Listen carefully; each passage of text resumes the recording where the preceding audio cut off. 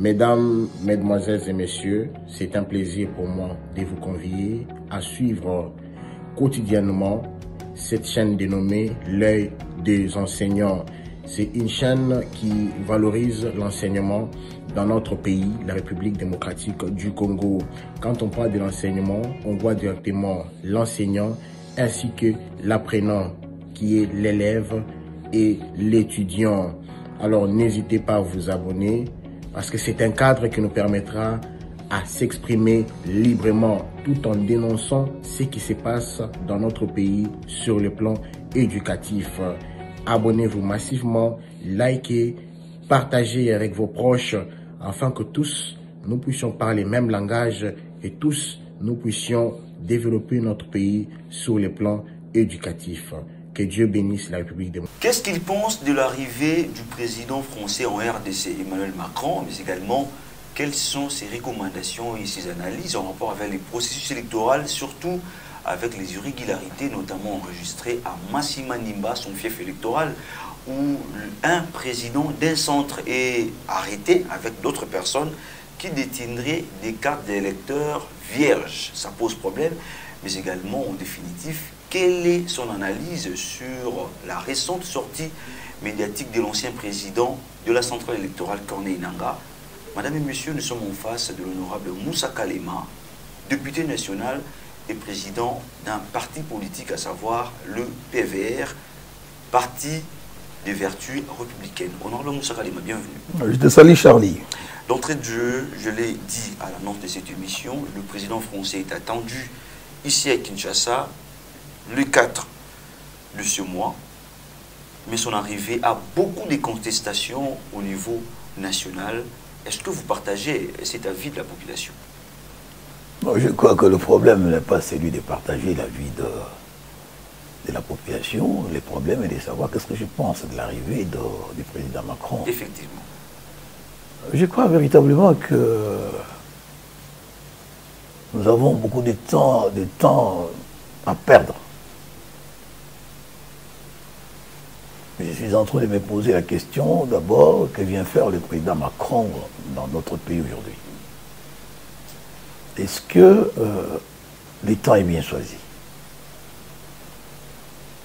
Face à l'Afrique qui est en train de changer et de prendre conscience de l'assujettissement de son peuple pendant des années par le néocolonialisme et le colonialisme,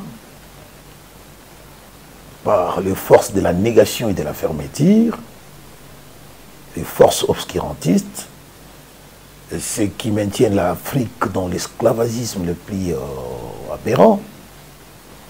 Je me pose la question, il est porteur de quel message? Est-ce qu'au jour d'aujourd'hui, les Congos ont encore besoin des messages ou les Congos ont besoin des actes qui parlent? Le pragmatisme les pragmatismes, les réalismes, et surtout la pratique. Alors, celle des chefs de l'État congolais qui sait, je ne sais pas si c'est sur son invitation ou c'est sur sa demande, parce que même là, la communication est toujours constipée. Il n'y a pas de clarté dans la manière de communiquer de la présidente de la République.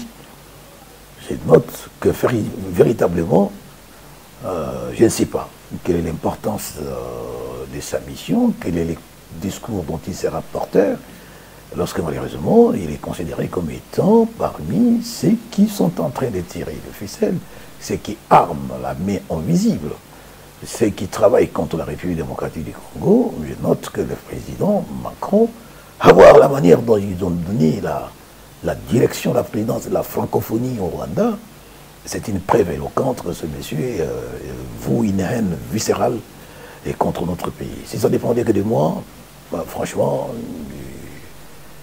euh, je pouvais dire que c'est sans objet. Et je considère que son arrivée, pour moi, c'est sans importance. Parce que ça ne changera absolument rien sur le plan euh, politique et comme sur le plan sécuritaire. Étant entendu que ce sont des gens qui nous conspirent et qui, qui nous conspirent, qui, qui nous espionnent, qui conspirent contre la République. Voilà.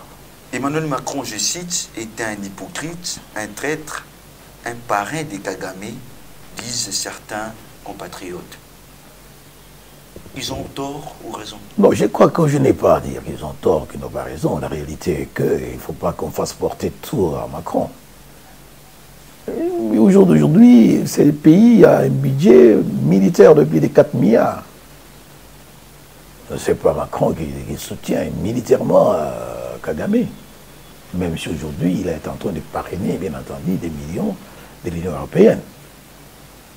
Il faut qu'on soit correct, il faut qu'on soit vrai. Être vrai, ça veut dire appeler les chiens par son nom et les chats par son nom. Ça veut dire Nous savons que le Rwanda tire sa force des États-Unis d'Amérique, et notamment de la famille Clinton. Et le Rwanda tire également sa force de la Grande-Bretagne. D'ailleurs, vous savez, ce qui a, failli avoir lié avec euh, ce transfert de, personnes considérées des parias en Angleterre qu'on devrait envoyer au Rwanda qui a un problème de, de Et donc je note que oui, il fait partie euh, du triangle mortel qui euh, décime à l'Est, mais il ne porte pas la lourde responsabilité. Et je dis que le premier euh, soutien de, du Rwanda, c'est les États-Unis d'Amérique, c'est bien entendu la Grande-Bretagne. Et on peut citer d'autres pays. Et donc tous les Occidentaux, disons, les fameux membres du Conseil de sécurité, en dehors de la Russie et de la Chine, euh, je crois les autres sont des soutiens euh, probables de Kagame. Voilà. Donc les Congolais ne peuvent rien attendre de la France pour euh, mettre ou résoudre la question de l'insécurité à l'Est. Vous avez suivi? Nous a posé une question à, à, ces présidents français sur euh, ce qu'on pouvait attendre par rapport à, son arrivée et par rapport euh, au discours que le chef de l'État a tenu en Suisse, même si ce n'était pas le plateau euh, indiqué pour le chef de l'État, parce que c'était un conseil des ministres.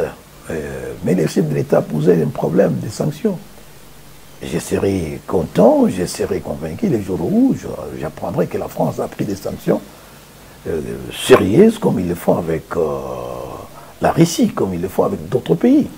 Et donc je note que euh, ça sera une distraction. Encore une fois de plus, on est dans la distraction. Les autorités congolaises sont dans la distraction, ils sont dans des histoires folkloriques, ils sont sur les apparences, mais ils ne vont pas dans les fonds. Alors on va changer un peu de chapitre, honorable, parce que je l'ai annoncé euh, à l'introduction. Nous devons aussi parler processus électoral. Déjà, plus de 25 millions de Congolais sont enrôlés. C'est les chiffres présentés par la Commission électorale nationale indépendante CENI, précisément par son président Dini Kadima. Vous croyez à ces chiffres?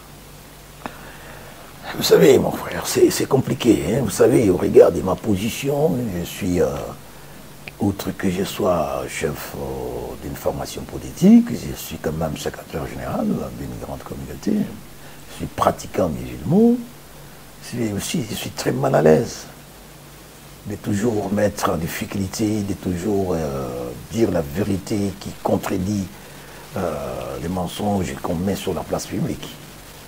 Bon, si la CENI annonce qu'il y a 25 millions, mais la CENI reconnaît au jour d'aujourd'hui qu'il y a une fraude massive et des irrégularités caractérisées. La CENI reconnaît également qu'il y a la déportation des compatriotes, euh, même des étrangers qu'on a essayé d'enrôler. C'est le cas de Massima Nimba, je l'ai suivi par... Votre fief électoral. Mon fief électoral, je, l'ai suivi, je l'ai suivi, je l'ai suivi. Cette affirmation que euh, je l'ai tenais, mais euh, je l'ai suivi hier parce que c'est sorti des bouches dans de celui-là même qui est impliqué dans les dossiers, dans les défenses, de la partie euh, euh, de, la personne arrêtée par le service de sécurité dans cette affaire-là, qui confirme qu'il y a même des, un Burundais qui a été enrôlé, semble-t-il, dans les Massimanimba. Je parle au conditionnel, parce que moi je n'ai pas encore vérifié les faits, même si aujourd'hui j'ai bien entendu euh, l'identité de ce monsieur et la photo. Je note qu'aujourd'hui tout devient difficile de croire à une CENI et qui, est, euh, qui donne, euh, il y a des fois des informations non vérifiables. Donc euh, c'est difficile. Et parmi, c'est là, il y a combien de doublons? Parce que nous savons qu'au jour d'aujourd'hui, On peut acheter une carte d'électeur à partir euh, sur, sur, sur les réseaux sociaux. C'est pas moi qui l'ai dit. Et on a arrêté même des gens ici, à, dans la Tchangou, qui livrent des cartes sur les réseaux sociaux. Et ça, ça vient de la CENI. Lorsqu'on apprend qu'il y a des gens qui disposeraient de, machines, de kits chez eux à domicile, c'est le cas de l'accident de Chicapa. Et c'est le cas également de la personne qu'on a arrêtée euh, euh, qui, qui, s'est revenue de ma circonscription. Donc c'est difficile au jour d'aujourd'hui de faire foi à tout ce que la CENI est en train d'avancer comme chiffre. Voilà. Au regard de, des faits que vous venez d'évoquer d'ailleurs tout à l'heure, beaucoup plus précisément dans votre fief électoral qui est euh, Massima Nimba, où un centre, euh, un chef d'un centre a été appréhendé avec quelques personnes qui détenaient les cartes électeurs vierges. Quelles sont les recommandations aujourd'hui de l'honorable Moussa Kalib, qui est un fils du terroir Vous savez, je suis un homme, vous me connaissez, euh, je suis différent de autres politiques qui pensent qu'il faut s'enrichir quand on vient en politique, qui veulent se mis à la place de l'État pour faire ce que l'État doit faire. Moi, en tant que lit au jour d'aujourd'hui, mon propre rôle, c'est d'être la sentinelle de la République. C'est de veiller à ce que le maire se revienne, à ce que les gens reviennent sur euh, les grands chemins. Au regard de tous ces aléas, de toutes euh, ces anomalies, ces, ces, incongrues, ces ratés, au regard également de, de faits avérés, confirmés par euh, des communiqués de, la CENI, signés par le président Gadima, j'ai dit que le processus, comme je l'avais d'ailleurs dit sur ton plateau, avant même qu'on commence, que le, processus est biaisé. Euh, logiquement, poursuivre sur cette lancée, euh, se préparer des troubles demain. Parce que je sens déjà qu'il y aura des troubles. Je sens déjà que tout est faussé. Je sens déjà la fraude qui caractérielle, qui est déjà prévisible. Quand des gens ont déjà... Vous savez, même à l'époque, hein, quand on parlait de fraude, je n'ai jamais entendu parler de fraude au niveau de l'enrôlement. Mais ici, c'est au niveau de l'enrôlement, d'inscription des électeurs. Imaginez-vous si on commence déjà à frauder à ces niveaux, ça sera comment au niveau des élections proprement dites? Le pire. Ça sera le pire, ça sera les chaos. Oui, on est en train de préparer les chaos. Dans ces conditions, il faut arrêter les processus. Et qu'est-ce qu'il faut? Je vous ai dit, il faut une CENI désintéressée, apolitique. Il faut une cour constitutionnelle dépolitisée, véritablement au service de la justice congolaise. Ce qui n'est pas le cas aujourd'hui. Parce que vous avez constaté que tout ça, ça, ça, prouve à suffisance la qualité des individus qui sont placés dans nos centres, qui sont placés au niveau de la CENI pour conduire le processus. Nous sommes dans une forme de médiocrité qu'il faut rapidement corriger. Si on ne le fait pas, et franchement, le pays va tanguer, le pays va imploser. Et je me dis même, est-ce que ces gens ne sont pas au service des forces négatives, des forces de la fermeture, de ces mêmes qui complotent pour imploser le pays. Un pays qui est déjà divisé, disloqué, un pays qui est déjà en fait balkanisé sans qu'on le dise. Et maintenant, voilà, on voudrait, on a trouvé une formule magique pour imploser au jour d'aujourd'hui l'ouest du pays à travers ces élections qui sera et qui risque être des élections chaotiques. Je l'ai toujours demandé, honorable, est-ce que tout ce que vous êtes en train de demander aujourd'hui pour que nous ayons un processus électoral crédible, apaisé, selon les temps, nécessiterait un report. Est-ce que vous serez d'accord qu'il y ait un report pour que vous puissiez vous mettre autour d'une même table et en discuter? Les, problèmes, c'est que nous n'avons pas commencé à demander ça aujourd'hui. Nous avons commencé à demander depuis que nous avons commencé, nous avons mis, on a démarré les processus de la loi électorale. Nous avons déjà fait comprendre. Et je voudrais vous dire que si aujourd'hui, il y a eu changement de majorité à l'Assemblée nationale, c'est du fait qu'en fait, déjà à l'époque, des voix se sont levées pour dire la manière dont on procédait pour désigner les animateurs, notamment de la Cour constitutionnelle, était un forfait, c'était un hold-up, c'était euh, franchement un coup de force et que ce n'était pas normal. On devait respecter la procédure. Et lorsqu'on a fait la loi électorale, vous avez suivi des voix s'élever au niveau des FCC, au niveau des Lamouka et au niveau d'autres forces, d'autres collègues députés comme. Sanga et les autres, pour dire on est en train de forcer la note, on est en train, on est en train de, de se mettre sur une fausse route, et qu'on est en train de dévier, qu'il fallait arrêter et avoir un bureau consensuel de la CENI. Et donc, d'abord, je voudrais que ça soit très clair, ce n'est pas aujourd'hui que nous demandons que les choses soient faites d'une manière normale. Et vous savez, lorsqu'il y a alternance dans, dans un pays, les changements, ça veut dire qu'on ne cherche pas un changement négatif. On cherche un changement positif pour faire avancer le pays. Mais aujourd'hui, nous constatons malheureusement que les élections risquent d'être d'abord le processus lui-même électoral. Le processus d'enrôlement est pire que tous les processus électoraux que nous avons connus dans ce pays. Ça, vous et moi, nous sommes d'accord sur cette question. Lorsque la CENI elle-même reconnaît que euh, les machines, les, le, le, les, imprimés se trouvent, euh, on ne sait pas par quelle magie, entre les mains des individus, ça signifie qu'effectivement il y a un problème. Alors, est-ce qu'il y aura réponse Je vous ai indiqué que pour faire ces choses-là, on n'a pas besoin de beaucoup de temps. J'ai dit dans deux semaines, maximum, on peut arriver à régler les problèmes de la CENI, on peut arriver à régler les problèmes de la Cour constitutionnelle, et s'il le faut, euh, bien entendu, annuler ces processus, oui, les acteurs politiques autour d'une table trouveront une solution pour qu'on arrive à des résultats apaisés, qu'on ait des élections libres et surtout transparentes, qui ne vont pas imploser le pays. Tout peut avoir lieu dans deux semaines, c'est l'avis de l'honorable Moussa Kalema. Et au nom de la démocratie, les avis sont également partagés. Croyez-vous que ces assises prendront nécessairement deux semaines On n'a pas besoin des assises du genre 5 ans, on n'en a pas besoin. Parce qu'on ne pas, nous ne cherchons pas le partage des responsabilités aujourd'hui. Il n'y a plus rien à partager. Et je vous ai indiqué autrefois que cette affaire de négociation pour le partage de pouvoir des responsabilités, c'est une vaste escroquerie. C'est inacceptable, c'est immoral. Aujourd'hui, nous avons besoin tout simplement d'avoir une CENI composée de personnes intègres, des personnes désintéressées, des personnes qui rendront un jugement impartial et une cour constitutionnelle est bien entendu composée sur base de principes qui régit la Cour constitutionnelle, une cour dépolitisée et une cour nationale, pas une cour tribalisée.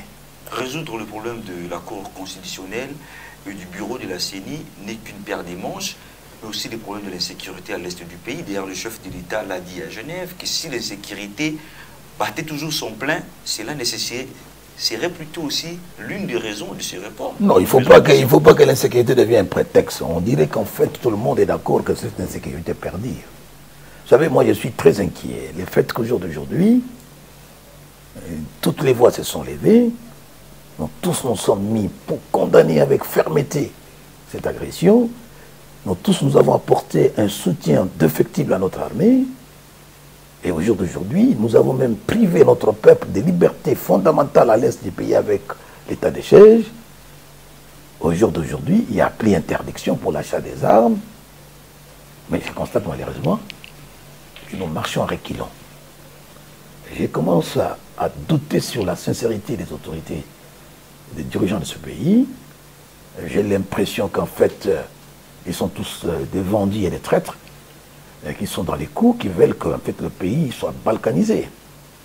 Les élections devront avoir lieu dans ce pays et qu'il faut tout faire, tout tenter, tout mettre en œuvre pour que l'armée soit capable de bouter en dehors l'armée rwandaise déguisée au M23.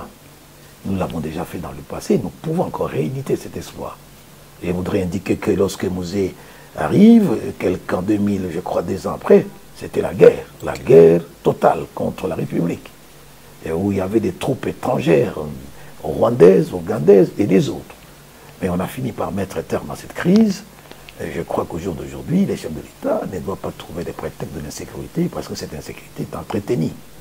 Vous savez, on a dit qu'il y avait des députés qui étaient, il me semble, qui détenaient des armes. Nous avons suivi, notre président de l'Assemblée nationale a dénoncé ça, du haut de la tribune. Mais aucune mesure n'a été prise. C'est la même chose. Nous avons appris par la bouche du chef de l'État et que les bataillons dont on parlait, bataillons de 300, 400 personnes, en réalité, il n'y avait personne dedans, il n'y avait que 30 personnes dedans. Mais nous n'avons pas suivi une seule sanction. personne, aucune tête qui est tombée. Pas des arrestations. Et donc tout est fait pour que les choses pourrissent, pour que la République puisse tanguer. Eh bien, si on ne fait pas les choses convenablement, c'est que je crois, je crains fort qu'on puisse avoir une révolution dans le pays. Je pense que dans une demi-heure, on ne saura pas tout dire. C'est vrai qu'on aura chapitre par chapitre, chapitre allais-je dire. On aura le justement à la fin de cet entretien. Je dois rappeler que vous êtes président euh, du PVR, parti politique. Dans quel état d'esprit vous vous retrouvez ou dans quel état d'esprit avez-vous appris ce que l'ancien président de la CENI, Corneille Nanga, a déclaré que les résultats des élections de 2018 proviendraient d'un accord politique. Martin Fayoulou avait-il raison de réclamer la vérité des urnes Je crois que l'histoire de la vérité des, urnes n'était pas l'affaire simplement de Martin, c'était l'affaire de tout le monde. Dans quel état d'esprit?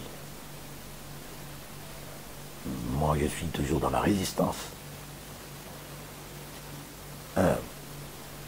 Je pense que je voudrais d'abord qu'on sache que tout le monde n'est pas un homme d'État, tout le monde n'est pas un homme politique. Les vrais problèmes dans ce pays, on fait un mélange hétéroclite et malfaisant, on utilise des termes sans qu'on sache le fondamentaux de ces, termes qu'on utilise. On pense que tout le monde, quand on devient député, on devient politicien, c'est faux.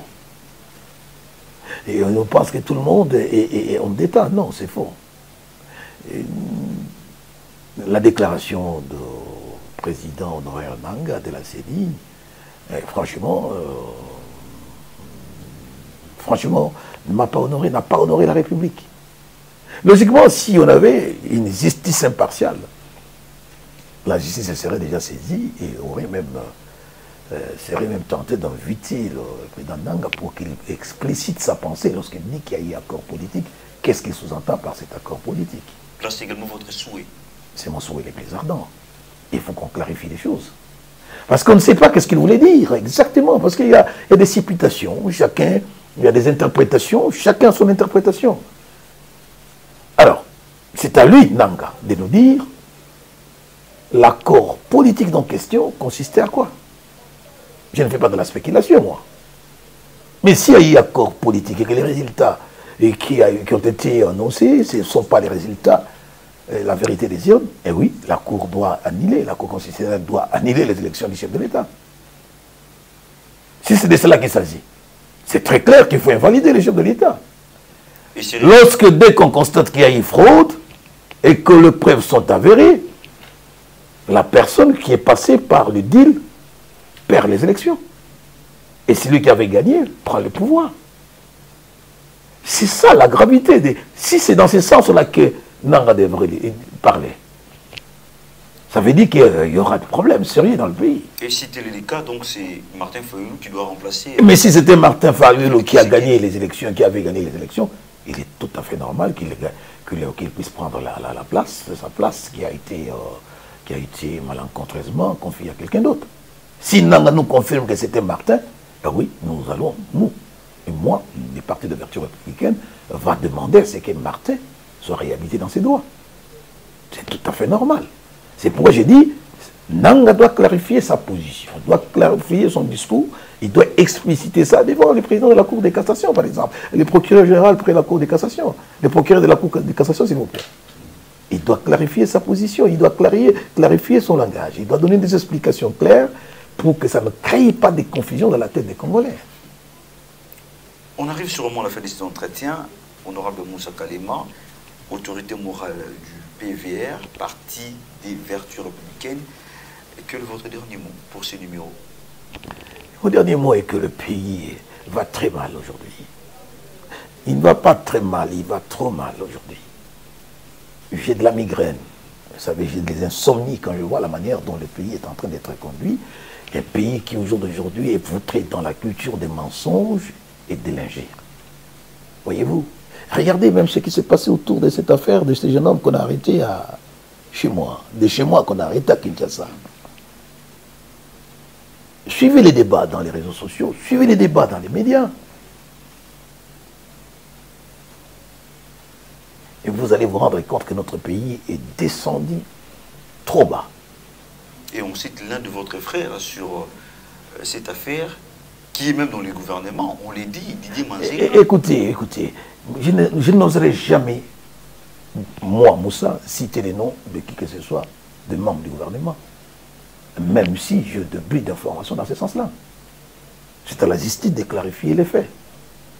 Mais le problème, insulter les gens, acquiser les gens, décomploter contre un membre du gouvernement, c'est trop grave ça.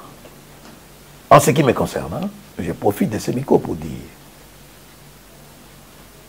tous ceux qui sont cités dans cette affaire de la fraude électorale, en fait, de, ils se sont cités dans cette affaire de, de, de cartes d'électeurs, de vierges, d'enrôlement de personnes à des centres fictifs ou bien domiciliaires, tous ce sont de la même plateforme, ce sont de l'Union sacrée.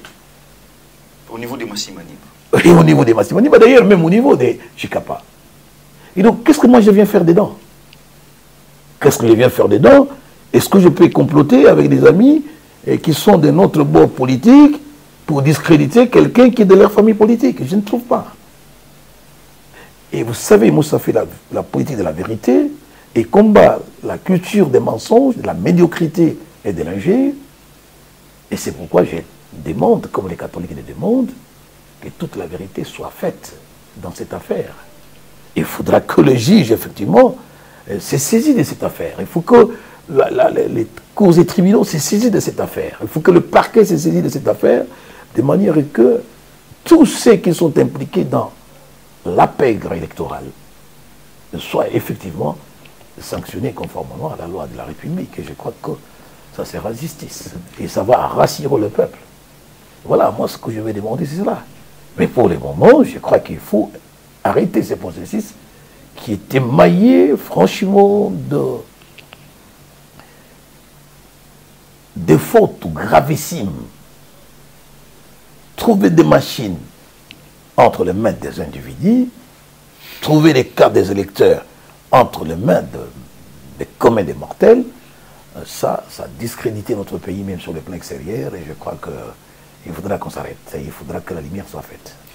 Honorable Moussa Galemo, je rappelle que vous êtes président du PVR. Merci de nous accorder votre précieux temps. C'est à moi de vous remercier, mon ami. Merci. Mesdames, Mesdemoiselles et Messieurs, c'est un plaisir pour moi de vous convier à suivre quotidiennement cette chaîne dénommée L'œil des enseignants.